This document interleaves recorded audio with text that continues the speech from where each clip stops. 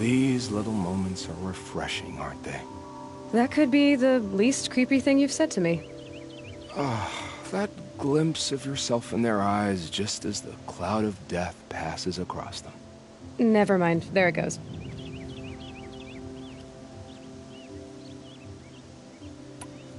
You know, Nil, if you get tired of bandits, there's a group called the Eclipse. That's a political situation.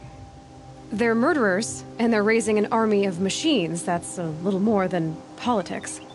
Don't hate me for being single-minded.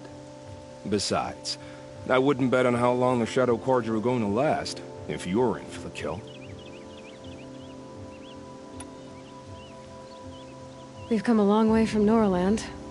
Where have you been, Nil? I heard the roads of the Sundom were no longer safe.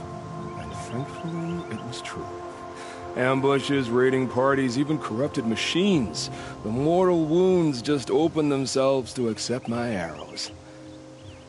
But you knew this already. You've been walking on the edge of life and death. I can tell. Yeah. It's a long story. With many quick endings, I hope.